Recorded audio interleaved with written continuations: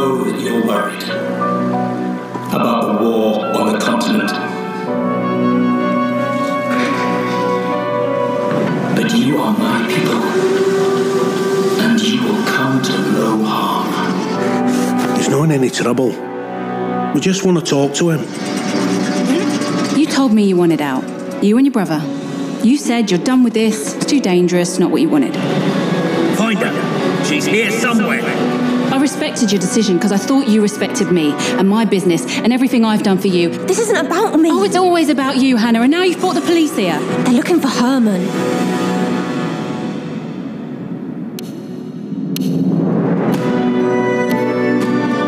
Look, I've no idea what he's done, and I don't care. I've just got to find him before they do.